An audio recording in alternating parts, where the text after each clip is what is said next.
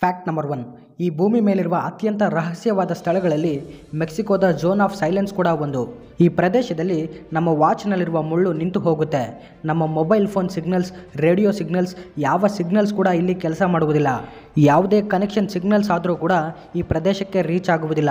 ಇಷ್ಟಕ್ಕೂ ಈ ಪ್ರದೇಶದಲ್ಲಿ ಹೀಗೆ ಯಾಕೆ ಆಗುತ್ತೆ ಅನ್ನುವುದು ಈಗಲೂ ಬಯಲಾಗದ ಒಂದು ಮಿಶ್ರಿಯಾಗಿ ಉಳಿದಿದೆ. ಇದರ ಮತ್ತೊಂದು ಇಂಟ್ರೆಸ್ಟಿಂಗ್ ವಿಷಯವೇನೆಂದರೆ zone of silence, Giza pyramid, Bermuda triangle ಈ ಮೂರು ಪ್ರದೇಶಗಳು ಮ್ಯಾಪ್ನಲ್ಲಿ ಒಂದೇ ಲೈನ್ನಲ್ಲಿ ಬರುತ್ತವೆ. Fact number two Buzz Aldrin Neil Armstrong ನಂತರ ಚಂದ್ರನ ಮೇಲೆ ಕಾಲಿಟ್ಟ ಎರಡನೆಯ ವ್ಯಕ್ತಿ ಇವರೇ. ಇವರು ಒಂದು ಇಂಟರ್ವ್ಯೂನಲ್ಲಿ ಚಂದ್ರನ ಮೇಲೆ ಏಲಿಯನನ್ನು ನೋಡಿದ್ದೇನೆ ಅಂತ ಹೇಳ್ತಾರೆ. ಇವರು ಹೇಳಿದ್ದು ನಿಜಾನ ಅಥವಾ ಸುಳ್ಳ ಅಂತ ತಿಳಿದುಕೊಳ್ಳೋಕೆ ನಾಸಾದವರು ಇವರಿಗೆ ಲೈಟ್ ಡಿಟೆಕ್ಟಿಂಗ್ ಟೆಸ್ಟನ್ನು ಮಾಡ್ತಾರೆ. ಆಶ್ಚರ್ಯಗೊಳಿಸುವ ವಿಷಯವೇನೆಂದರೆ ಇವರು ಹೇಳಿದ್ದು ನಿಜ. ಲೈಟ್ ಡಿಟೆಕ್ಟಿಂಗ್ ಟೆಸ್ಟ್ನಲ್ಲಿ ಇವರು ಪಾಸ್ ಆಗ್ತಾರೆ. ಈ ನಂತರ ನಾಸಾದವರು ಈಗಿನವರೆಗೂ ಚಂದ್ರನ ಮೇಲೆ ಯಾರನ್ನೂ ಕಳುಹಿಸಿಲ್ಲ. ಫ್ಯಾಕ್ಟ್ ನಂಬರ್ ತ್ರೀ ನಮ್ಮ ದೇಶದ ಲೋಕಸಭೆಯಲ್ಲಿ ನಾನ್ನೂರ ಇಪ್ಪತ್ತನೇ ಸೀಟ್ ಇರುವುದಿಲ್ಲ. ನಾನ್ನೂರ ಹತ್ತೊಂಬತ್ತನೇ ಸೀಟ್ ನಂತರ ನಾನ್ನೂರ ಹತ್ತೊಂಬತ್ತು ಎ ನಾನ್ನೂರ ಇಪ್ಪತ್ತೊಂದು ಸೀಟ್ ಇರುತ್ತೆ. ಹೀಗೆ ಯಾಕೆ ಅಂದರೆ ಲೋಕಸಭೆಯಲ್ಲಿ ಕುಳಿತುಕೊಳ್ಳಲು ಐದು ನೂರ ಐವತ್ತು ಸೀಟ್ಸ್ ಇವೆ. ಇವುಗಳನ್ನು ಆರು ಬ್ಲಾಕ್ಸ್ ಹನ್ನೆರಡು ರೋಸ್ ಆಗಿ ಡಿವೈಡ್ ಮಾಡಿದ್ದಾರೆ. ಲೋಕಸಭೆಗೆ ಆಯ್ಕೆಗೊಳ್ಳುವ ಪ್ರತಿ ಎಂಪಿಗೆ ಒಂದು ಪ್ರತ್ಯೇಕವಾದ ಸೀಟ್ ನಂಬರನ್ನು ಕೊಡ್ತಾರೆ. ಆ ಸೀಟ್ನಲ್ಲಿ ಅವರು ಮಾತ್ರ ಕುಳಿತುಕೊಳ್ಳಬೇಕು. ಇನ್ನು ಯಾವ ಎಂಪಿಗಾದರೂ ಲೋಕಸಭೆಯಲ್ಲಿ ಫೋರ್ ಟ್ವೆಂಟಿ ನಂಬರ್ ಸೀಟನ್ನು ಕೊಡುವುದಿಲ್ಲ. I P C section four ಟ್ವೆಂಟಿಯನ್ನು fraud, cheating ಆಗಿ ಕರೀತಾರೆ. ಇದರಿಂದ ಯಾವ ಎಂ ಪಿ ಕೂಡ ತನಗೆ ಫೋರ್ ಟ್ವೆಂಟಿ ಸೀಟ್ ಬೇಕೆಂದು ಬಯಸುವುದಿಲ್ಲ. ಇದಕ್ಕಾಗಿ ಇದಕ್ಕೆ ಪರಿಹಾರವಾಗಿ ನಾನ್ನೂರ ಇಪ್ಪತ್ತರ ಬದಲಾಗಿ ನಾನ್ನೂರ ಹತ್ತೊಂಬತ್ತು ಎ ಆಗಿ ಇರಿಸಿದ್ದಾರೆ. ನಂತರ ನಾನ್ನೂರ ಇಪ್ಪತ್ತೊಂದನೇ ಸೀಟ್ ಇರುತ್ತೆ. Fact number four. ಎರಡು ಸಾವಿರದ ಐದರಲ್ಲಿ ಟರ್ಕಿ ದೇಶದ ಇಸ್ತಾನ್ಬುಲ್ ಎಂಬ ಸ್ಥಳದಲ್ಲಿ ಹದಿನೈದು ನೂರು ಕುರಿಗಳು ಒಂದು ಬೆಟ್ಟದ ಮೇಲೆ ಹುಲ್ಲು ಮೇಯುತ್ತಿರುತ್ತವೆ.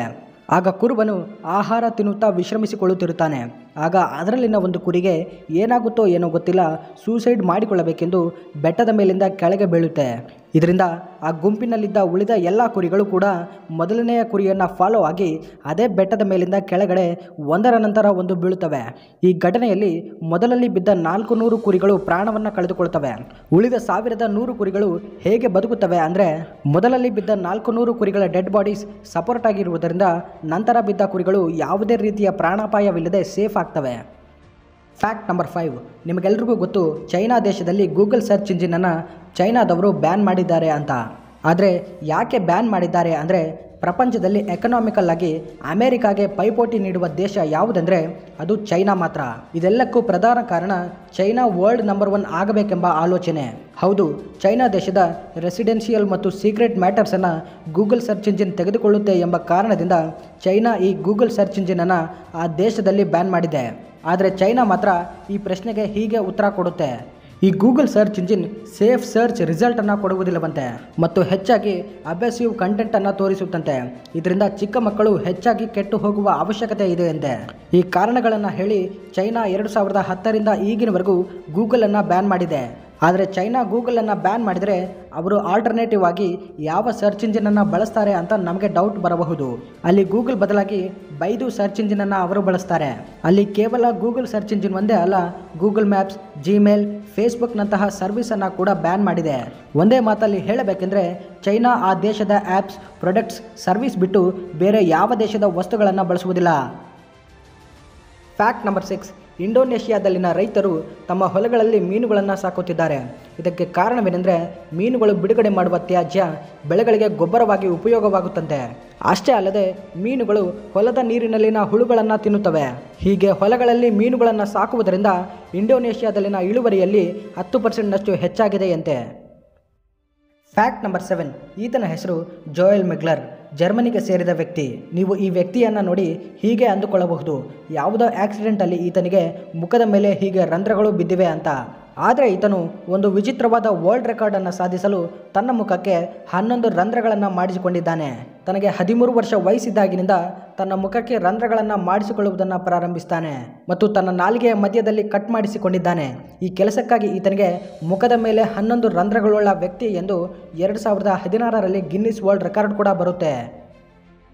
ಮುಂದಿನ ಫ್ಯಾಕ್ಟ್ ನೋಡುವುದಕ್ಕೂ ಮುಂಚೆ ನಿಮ್ಮಲ್ಲಿ ಯಾರಾದರೂ ನಮ್ಮ ಚಾನಲನ್ನು ಇನ್ನೂ ಸಬ್ಸ್ಕ್ರೈಬ್ ಆಗಿಲ್ಲವಾದರೆ ಈ ಕೂಡಲೇ ಸಬ್ಸ್ಕ್ರೈಬ್ ಮಾಡಿಕೊಂಡು ಬೆಲ್ ಐಕನನ್ನು ಕೂಡ ಆನ್ ಮಾಡ್ಕೊಳ್ಳಿ.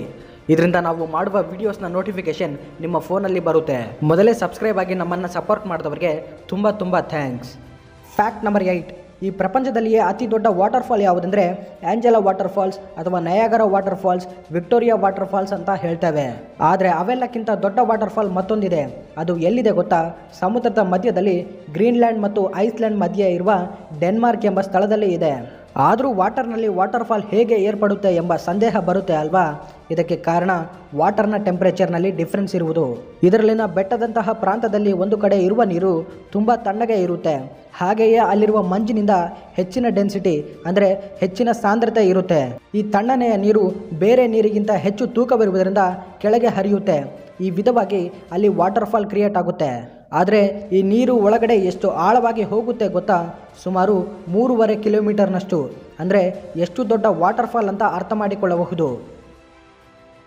Fact number nine. ಶಾಂಪೂ ಬಳಸುವುದರಿಂದ ನಮಗೆ ಏನಾದರೂ ಅಪಾಯವಿದೆಯಾ? ಶಾಂಪೂಸ್ ಇವು ಒಂದು ಕೆಮಿಕಲ್ ಬೇಸ್ಡ್ ಸೊಲ್ಯೂಷನ್ಸ್ ಈ ಶಾಂಪೂಸನ್ನು ಹೆಚ್ಚಾಗಿ ಬಳಸುವುದರಿಂದ ಇದರಲ್ಲಿನ ಎಸ್ ಎಲ್ ಎಸ್ ಅಂದರೆ ಸೋಡಿಯಂ ಲೋರಿಯಲ್ ಸಲ್ಫೇಟ್ ಇದು one of the dangerous chemical ಈ ಕೆಮಿಕಲನ್ನು ಹೆಚ್ಚಾಗಿ ಟೂತ್ ಪೇಸ್ಟ್ ಸೋಪ್ಸ್ ಶವರ್ ಜೆಲ್ಸ್ನಲ್ಲಿ ಉಪಯೋಗಿಸ್ತಾರೆ. ಈ ಕೆಮಿಕಲ್ ಇವುಗಳಲ್ಲಿ ಸೇರಿ ಸ್ಕಿನ್ ಮೇಲಿನ ಆಯಿಲ್ ಮತ್ತು ಡರ್ಟ್ ಅನ್ನು ಕ್ಲೀನ್ ಮಾಡುತ್ತೆ. ಆದರೆ ಇದನ್ನು ಈಗಿನ ಶಾಂಪೂಸ್ಗಳಲ್ಲಿ ಹೆಚ್ಚಾಗಿ ಬಳಸುತ್ತಿದ್ದಾರೆ. ಇದರಿಂದ ನಾವು ಹೇರ್ ವಾಶ್ ಮಾಡಿಕೊಂಡಾಗ ಈ ಕೆಮಿಕಲ್ ಚರ್ಮದ ಒಳಗಿನ ಲೇಯರ್ಗೆ ಹೋಗಿ ನಮ್ಮ ಬ್ರೈನನ್ನು ಎಫೆಕ್ಟ್ ಮಾಡುವುದೊಂದೇ ಅಲ್ಲದೆ ನಮ್ಮ ಕೂದಲಿನ ಸ್ಟ್ರೆಂತನ್ನು ಕೂಡ ಕಡಿಮೆ ಮಾಡುತ್ತೆ. ಇದರಿಂದ ಹೇರ್ ಲಾಸಸ್ ಆಗುವ ಸಾಧ್ಯತೆ ಇರುತ್ತೆ. ಇದಕ್ಕಾಗಿ ಅನೇಕ ದೇಶಗಳಲ್ಲಿ ಈ ಎಸ್ ಎಲ್ ಎಸ್ ಕೆಮಿಕಲ್ ಇರುವ ಶ್ಯಾಂಪೂಸ್ಗಳನ್ನು ಬ್ಯಾನ್ ಮಾಡಿದ್ದಾರೆ. ಆದರೆ ಈ ರೀತಿಯ ಡೇಂಜರಸ್ ಕೆಮಿಕಲ್ ಹೊಂದಿರುವ ಶಾಂಪೂಸ್ ನಮ್ಮ ಭಾರತದಲ್ಲಿ ಹೆಚ್ಚಾಗಿವೆ. ಹಾಗಾದರೆ ಎಂತಹ ಶಾಂಪೂಸ್ ಬಳಸಬೇಕು ಅಂದರೆ ಕೆಲವು ಶಾಂಪೂಸ್ ಮೇಲೆ ಸಲ್ಫೇಟ್ ಫ್ರೀ ಅಂತ ಮೆನ್ಷನ್ ಮಾಡಲಾಗಿರುತ್ತೆ. ಅಂತಹ ಶಾಂಪೂಸ್ ಮಾತ್ರ ಬಳಸಬೇಕು. ಮತ್ತು ಎಸ್ ಎಲ್ ಎಸ್ ಶಾಂಪೂಸ್ವನ್ನು ಬಳಸುವಾಗ ಶಾಂಪೂವನ್ನು ಡೈರೆಕ್ಟಾಗಿ ಹೇರ್ಗೆ ಅಪ್ಲೈ ಮಾಡದೆ ನೀರನ್ನು ಬೆರೆಸಿ ಬಳಸಿದರೆ ಕೂದಲನ್ನು ಸ್ವಲ್ಪ ಮಟ್ಟಿಗೆ ಕಾಪಾಡಿಕೊಳ್ಳಬಹುದು. ಇಷ್ಟೇ ಅಲ್ಲದೆ ಈ ಶಾಂಪೂಗಳಲ್ಲಿರುವ ಎಸ್ ಎಲ್ ಎಸ್ ಕಾರಣಗಳಿಂದ ಬ್ರೈನ್ ಮೆಮೊರಿ ಲಾಸ್ ಆಗುವುದು ಹೇರ್ ಲಾಸಸ್ ಮತ್ತು ಮುಖ್ಯವಾಗಿ ಕ್ಯಾನ್ಸರ್ ಬರುವ ಸಾಧ್ಯತೆ ಇರುತ್ತೆ. ಇದು ನಾವು ಬಳಸುವಾಗ ಹೊರಬರುವುದಿಲ್ಲ. ಇದರ ಎಫೆಕ್ಟ್ ಹತ್ತರಿಂದ ಹದಿನೈದು ವರ್ಷದ ನಂತರ ಕಾಣಿಸಿಕೊಳ್ಳುತ್ತೆ. ಕೊನೆಗೆ ಕೊಡುವ ಸಜೆಷನ್ ಏನೆಂದರೆ ಶಾಂಪೂಸ್ಗಳನ್ನು ಬಳಸುವುದನ್ನು ಬಿಟ್ಟು ನೈಸರ್ಗಿಕವಾಗಿ ಸಿಗುವ ಅಂಟುವಾಳ ಅಥವಾ ಕುಂಕುಡುಕಾಯಿಯನ್ನು ಬಳಸುವುದು ಒಳ್ಳೆಯದು. ಫ್ಯಾಕ್ಟ್ ನಂಬರ್ ಟೆನ್ ಈ ರೈತನ ಹೆಸರು ವಾಂಗ್. ಚೈನಾದ ಒಂದು ಚಿಕ್ಕ ಹಳ್ಳಿಯಲ್ಲಿ ನಿವಾಸಿಸ್ತಾರೆ. ಇವರ ಹೊಲದ ಪಕ್ಕದಲ್ಲಿ ಒಂದು ಕೆಮಿಕಲ್ ಫ್ಯಾಕ್ಟರಿ ಸ್ಟಾರ್ಟ್ ಆಗುತ್ತೆ. ಇದರಿಂದ ಆ ಫ್ಯಾಕ್ಟ್ರೀಸ್ನಿಂದ ಬಿಡುಗಡೆಯಾಗುವ ಪೊಲ್ಯೂಷನ್ನಿಂದ ಬೆಳೆಗಳು ನಾಶವಾಗ್ತಿವೆ, ಭೂಗರ್ಭದ ನೀರು ಮಾಲಿನ್ಯವಾಗ್ತಿದೆ ಎಂದು ಇವರು ಆ ಸಂಬಂಧಪಟ್ಟ ಅಧಿಕಾರಿಗಳಿಗೆ ಕಂಪ್ಲೇಂಟ್ ಮಾಡ್ತಾರೆ. ಆದರೆ ಅಲ್ಲಿನ ಅಧಿಕಾರಿಗಳು, ನಿನ್ನ ಬಳಿ ಯಾವ ರೀತಿಯ ಆಧಾರಗಳು ಇಲ್ಲವೆಂದು ಯಾವುದಾದರೂ ಆಧಾರಗಳಿದ್ದರೆ ಕೋರ್ಟ್ನಲ್ಲಿ ತೋರಿಸುವಂತೆ ಹೇಳಿ ಇವರನ್ನು ಹೊರಗಡೆ ತಳ್ತಾರೆ. ಕೇವಲ ನಾಲ್ಕನೇ ತರಗತಿಯವರಿಗೆ ಮಾತ್ರ ಓದಿಕೊಂಡ ನನ್ನ ಹತ್ರ ಆಧಾರಗಳು ಹೇಗೆ ಇರುತ್ತವೆ ಅಂತ ಇವರು ಎಷ್ಟು ಬೇಡಿಕೊಂಡರೂ ಕೇಳುವುದಿಲ್ಲ. ನಿನಗೆ ಅಷ್ಟು ತೊಂದರೆಯಾಗಿದ್ದರೆ ನಿನ್ನ ಹೊಲವನ್ನು ಮನೆಯನ್ನು ಬಿಟ್ಟು ಬೇರೆ ಸ್ಥಳಕ್ಕೆ ಹೋಗುವಂತೆ ಹೇಳ್ತಾರೆ. ಆದರೆ ಜನ್ಮ ಕೊಟ್ಟ ಊರನ್ನು ಅನ್ನ ನೀಡಿದ ಹೊಲವನ್ನು ಬಿಡಲು ವಾಂಗಿಗೆ ಇಷ್ಟವಾಗುವುದಿಲ್ಲ. ಆ ಕಂಪನಿಯನ್ನು ದೋಷಿಯಾಗಿ ಮಾಡಬೇಕೆಂದ್ರೆ ಇರುವ ಒಂದೇ ಒಂದು ದಾರಿ ಕೋರ್ಟ್ಗೆ ಹೋಗುವುದು.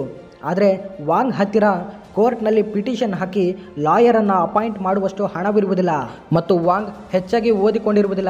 ಇದಕ್ಕಾಗಿ ಇವರು ಒಂದು ನಿರ್ಧಾರಕ್ಕೆ ಬರ್ತಾರೆ. ಹೇಗಾದರೂ ಕಷ್ಟಪಟ್ಟು ಲಾಯರ್ ತನ್ನ ಕೇಸನ್ನು ತಾನೇ ವಾದಿಸಿಕೊಳ್ಳಬೇಕೆಂದುಕೊಳ್ತಾರೆ. ಕೊನೆಗೆ ಇವರ ಹತ್ತಿರ ಲಾ ಬುಕ್ಸ್ ಕೊಳ್ಳುವಷ್ಟು ಕೂಡ ಹಣವಿರುವುದಿಲ್ಲ. ಆದರೂ ಇವರು ತಮ್ಮ ಗುರಿಯನ್ನು ಬಿಡುವುದಿಲ್ಲ. ಇದರಿಂದ ಇವರು ಲಾ ಬುಕ್ಸ್ ಮಾರಾಟ ಮಾಡುವ ಶಾಪ್ ಬಳಿಗೆ ಹೋಗಿ ಶಾಪ್ ಯಜಮಾನನ ಜೊತೆ ತನ್ನ ವಿಷಯವನ್ನು ಹೇಳ್ತಾರೆ. ಪ್ರತಿದಿನ ನಿಮ್ಮ ಬುಕ್ ಶಾಪ್ನಲ್ಲಿ ಇದ್ದು ನೀವು ಶಾಪ್ ಓಪನ್ ಮಾಡಿದಾಗ ಒಳಗಿನ ಬುಕ್ಸ್ ಓದಿಕೊಳ್ತೇನೆಂದು ಅದಕ್ಕೆ ಬದಲಾಗಿ ಪ್ರತಿದಿನ ಒಂದು ಚಿಕ್ಕ ಚೀಲದ ತುಂಬ ಜೋಳವನ್ನು ಕೊಡ್ತೇನೆಂದು ದಯಮಾಡಿ ಒಪ್ಪಿಕೊಳ್ಳುವಂತೆ ಶಾಪ್ ಓನರನ್ನು ಇವರು ಬೇಡಿಕೊಳ್ತಾರೆ. ಇವರ ಪರಿಸ್ಥಿತಿಯನ್ನು ನೋಡಿದ ಶಾಪ್ ಓನರ್ ಅದಕ್ಕೆ ಒಪ್ಪಿಕೊಳ್ತಾರೆ. ಹಾಗೆ ಪ್ರಾರಂಭವಾದ ಇವರ ಕಲಿಕೆ ಒಂದಲ್ಲ ಎರಡಲ್ಲ, ಬರೋಬ್ಬರಿ ಹದಿನಾರು ವರ್ಷಗಳ ಕಾಲ ಓದುತ್ತಾನೆ ಇರ್ತಾರೆ. ಹದಿನಾರು ವರ್ಷಗಳ ನಂತರ ಇವರಿಗೆ ಲಾ ಮೇಲೆ ಗ್ರಿಪ್ ಬರುತ್ತೆ. ಆ ಕೆಮಿಕಲ್ ಫ್ಯಾಕ್ಟ್ರಿ ಮೇಲೆ ಕೋರ್ಟ್ನಲ್ಲಿ ಕೇಸ್ ಫೈಲ್ ಮಾಡ್ತಾರೆ. ಆದರೆ ದುರದೃಷ್ಟವೇನೆಂದರೆ ಕೆಲವು ಕಾರಣಗಳಿಂದ ಚೈನಾ ಗೌರ್ಮೆಂಟ್ ಈ ಕೇಸನ್ನು ಎಂಟು ವರ್ಷಗಳ ಕಾಲ ಪೆಂಡಿಂಗ್ನಲ್ಲಿ ಇರಿಸುತ್ತೆ. ಎಂಟು ವರ್ಷಗಳ ನಂತರ ಎರಡು ಸಾವಿರದ ಹದಿನೈದರಲ್ಲಿ ಈ ಕೇಸ್ ಮತ್ತೆ ಕೋರ್ಟ್ ಮೆಟ್ಟಿಲೇರುತ್ತೆ. ಫ್ಯಾಕ್ಟರಿಯಿಂದ ಕೆಮಿಕಲ್ ರಿಲೀಸ್ ಆಗ್ತಿವೆ ಎಂದು, ಅದರಿಂದ ಬೆಳೆಗಳು ನಾಶವಾಗ್ತಿವೆ ಎಂದು ಆಧಾರಗಳಿಂದ ವಾಂಗ್ ಕೋರ್ಟ್ನಲ್ಲಿ ಪ್ರೂವ್ ಮಾಡ್ತಾರೆ. ಮತ್ತು ವಾಂಗ್ನವರು ಮೊದಲ ರೌಂಡ್ನಲ್ಲಿಯೇ ಕೇಸನ್ನು ಗೆದ್ದು ಬಿಡ್ತಾರೆ ಇದರಿಂದ ಆ ಕಂಪನಿ ಎಂಬತ್ತೆರಡು ಲಕ್ಷ ರೂಪಾಯಿಗಳನ್ನು ವಾಂಗ್ಗೆ ನಷ್ಟ ಪರಿಹಾರವಾಗಿ ಪಾವತಿಸುತ್ತೆ. ಅಷ್ಟೇ ಅಲ್ಲದೆ ಆ ಕೆಮಿಕಲ್ ಫ್ಯಾಕ್ಟ್ರಿಯನ್ನು ಗೌರ್ಮೆಂಟ್ ಕ್ಲೋಸ್ ಮಾಡಿಸುತ್ತೆ. ಮನುಷ್ಯ ಅಂದುಕೊಂಡ್ರೆ ಏನಾದರೂ ಸಾಧಿಸುತ್ತಾನೆ ಅನ್ನುವುದಕ್ಕೆ ಇದೊಂದು ಬೆಸ್ಟ್ ಎಕ್ಸಾಂಪಲ್. ಕಷ್ಟಪಡುವಂತಹ ಮನೋಭಾವ ಸ್ವಲ್ಪ ತಾಳ್ಮೆ, ಇವೆರಡೂ ಇದ್ದರೆ ಸಾಕು, ಗೆಲುವು ಯಾವತ್ತಿದ್ರೂ ನಿಮ್ಮ ಬಳಿಗೆ ಬಂದೇ ಬರುತ್ತೆ. ಇವಾಗಿದ್ದವ ಈ ವಿಡಿಯೋದ ಫ್ಯಾಕ್ಟ್ಸ್. ಈ ವಿಡಿಯೋದಲ್ಲಿನ ಫ್ಯಾಕ್ಟ್ಸ್ ನಿಮಗೆ ಇಷ್ಟವಾಗಿದ್ದರೆ ಈ ವಿಡಿಯೋವನ್ನು ಲೈಕ್ ಮಾಡಿ, ನಿಮ್ಮ ಫ್ರೆಂಡ್ಸ್ ಹಾಗೂ ಫ್ಯಾಮಿಲಿ ಜೊತೆ ಶೇರ್ ಮಾಡಿ, ನಮ್ಮ R J facts in Kannada ಚಾನಲನ್ನು ಸಬ್ಸ್ಕ್ರೈಬ್ ಮಾಡ್ಕೊಳ್ಳಿ. Thank you for watching.